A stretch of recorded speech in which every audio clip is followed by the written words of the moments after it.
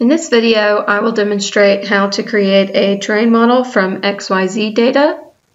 So I'm in the Open Roads modeling workflow, the Terrain tab, Create. I'm going to go under Additional Methods and I'll select Create Terrain Model from ASCII file. Now I can open up my CSV that contains the XYZ data and click Done.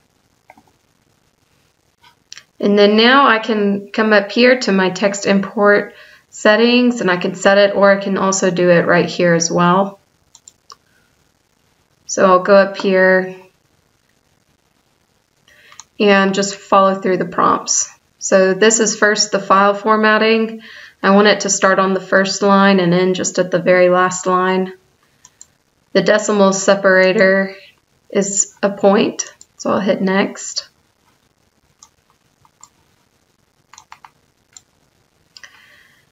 And this is delimited with a comma, so I'll select comma.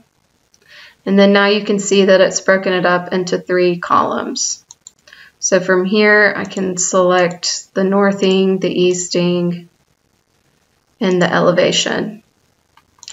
These are all spot features. And then you can set up the feature symbology if you want. So I'll click next. You can see it filling it all out next. If you need to set up the coordinate system that's associated with your data, you can do this here and click Finish. And then you can go out and save that text import wizard settings. Okay, so now you can see it updated it right here to point to the one that we just created.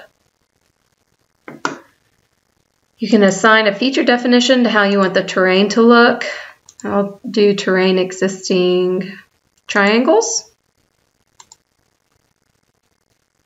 You can do the different triangulation options, set a coordinate system, and then when you have all your settings, you just click import. Now that it's done, I'll exit out and do a fit view, and you can see it right here. So it could be for this terrain, I probably am going to want a specific edge method. So I can come back here, change it to sliver, and it gets it down even more.